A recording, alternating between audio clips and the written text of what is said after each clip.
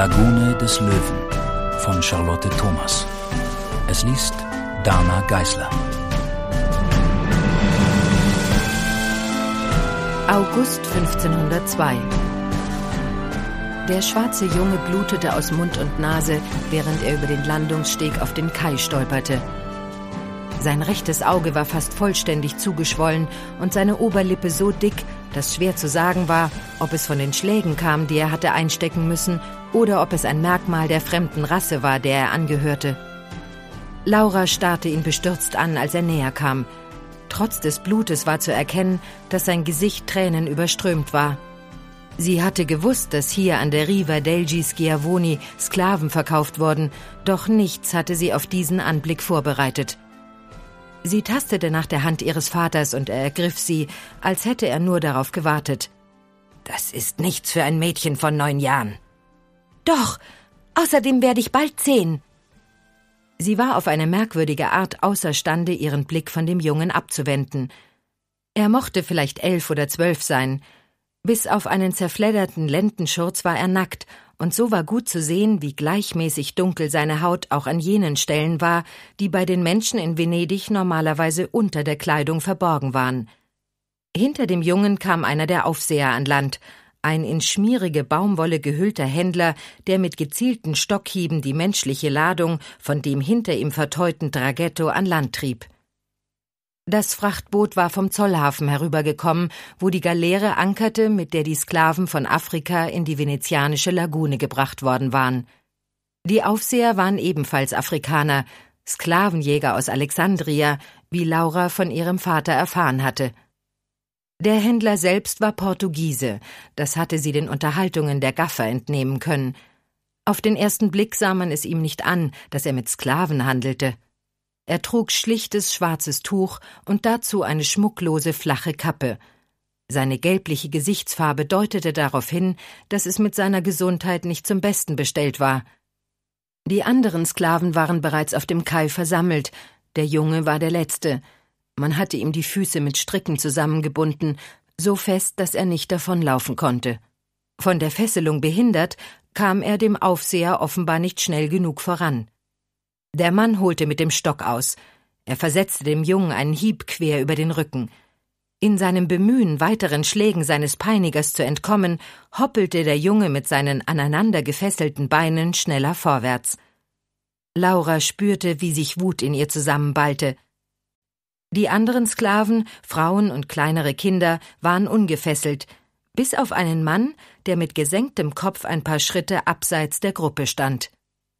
Der Mann war so schwarz wie der Junge, aber von unglaublicher Körperlänge und dabei so dünn, wie Laura es bisher an einem Mann noch nie gesehen hatte. Auch die vier Frauen waren dünn und hochgewachsen, wenngleich nicht so groß wie der Mann, und alle trugen das Haar geschoren und hatten in den Ohren bunt bemalten Schmuck, der bis auf ihre Schultern baumelte. Ihre Körper waren in Tücher gewickelt, die schmutzig und fleckig waren, die sechs Kinder, die sich mit weit aufgerissenen Augen um die Frauen drängten, trugen Lendentücher wie der Junge. Ein bedeutsames Detail unterschied indessen den Mann von den anderen. Man hatte ihn in Eisen gelegt, wobei die Ketten, die um seine Handgelenke geschlungen waren, mit denen an seinen Fußknöcheln verbunden waren. Er blickte unter gesenkten Lidern hervor und betrachtete die Umstehenden. Als seine Blicke auf den Jungen fielen, versteifte er sich merklich. Danach blieb er ruhig stehen, doch die Hände, die vor seinem Körper gefesselt waren, zitterten so stark, dass seine Ketten klirrten. Laura fühlte sich bei dem Geräusch von einer seltsamen Unruhe erfüllt, und als ihr Vater sie fortzog, wehrte sie sich nicht. Nun reicht es, meinte er. Das war mehr als genug. Der Junge hat geweint, antwortete sie, während sie sich von ihrem Vater zwischen Gruppen von Passanten und Schaulustigen hindurch in Richtung Ponte della Paglia ziehen ließ. Natürlich hat er geweint, meinte ihr Vater nachsichtig. Er wurde geschlagen. Laura widerstand dem Verlangen, über die Schulter zurückzublicken, als sie den Scheitelpunkt der Brücke erreicht hatten.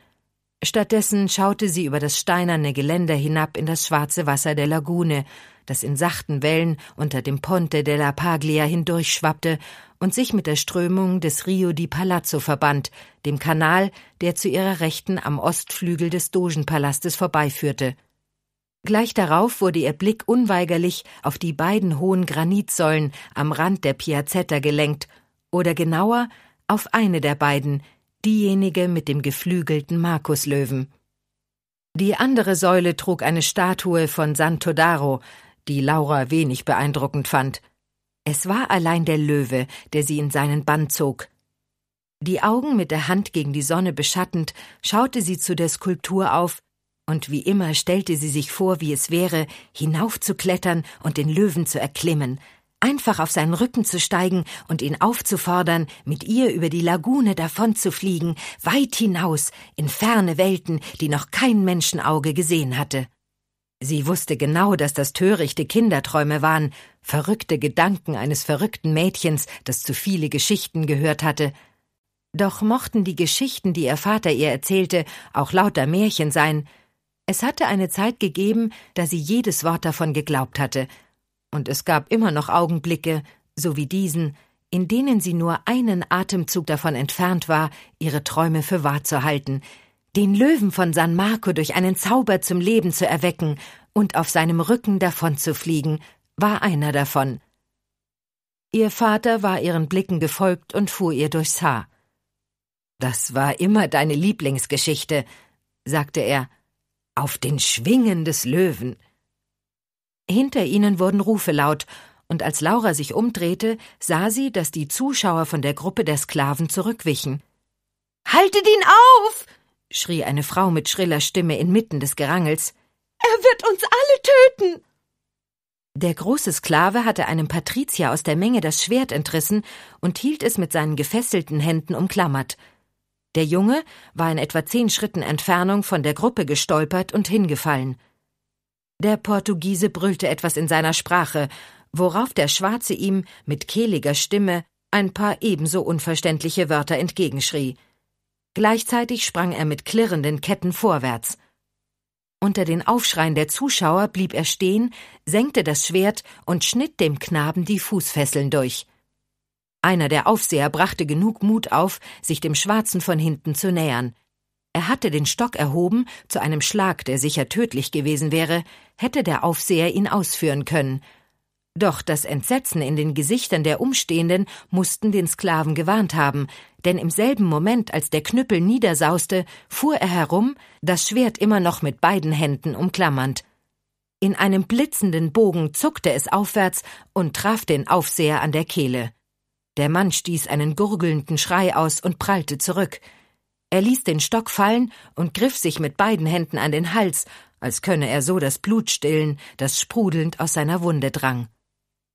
Der Schwarze ließ das Schwert sinken, riss es aber gleich darauf in einer drohenden Gebärde wieder hoch, als einige der männlichen Zuschauer sich ihm näherten, unter ihnen der Patrizier, dem der Sklave das Schwert entrissen hatte, sowie der Portugiese, in dessen Gesicht ein mörderischer Ausdruck stand. Er hatte ebenfalls blank gezogen und rückte näher, das Schwert vorgestreckt. Komm weiter, mein Kind. Ihr Vater versuchte, Laura von der Brücke hinunter auf die Mole vor den Dogenpalast zu ziehen. Nein! Sie riss sich von seiner Hand los und blieb stehen. Ich möchte sehen, was er macht. Vielleicht kann er weglaufen. Das ist Unsinn. Nun komm endlich fort von hier. Sie gab keine Antwort, sondern versuchte stattdessen, sich an ihm vorbeizudrücken, damit sie die Geschehnisse auf der Riva besser sehen konnte. Vage schoss ihr durch den Kopf, dass es Sünde war, den Eltern nicht zu gehorchen. Sie merkte, wie in ihren Handflächen der Schweiß ausbrach, als sie mit klopfendem Herzen zusah, wie der Portugiese und der Patrizier auf den Schwarzen losgingen. Der Patrizier, ein blonder Mann in smaragdgrünem Samt, hatte sich mit einem Dolch bewaffnet und die Art, wie er ihn von einer Hand in die andere wandern ließ, deutete darauf hin, dass er damit umzugehen verstand. In seinen Augen stand ein rachsüchtiger Ausdruck, und es sah ganz danach aus, als trachtete er nicht nur danach, sich sein Schwert zurückzuholen, sondern auch den Sklaven zu töten. Der wiederum starrte die näherrückenden Männer zornerfüllt an und schwang das Schwert ruckartig von einer Seite auf die andere, so schnell, dass Laura das Singen der blutbefleckten Schneide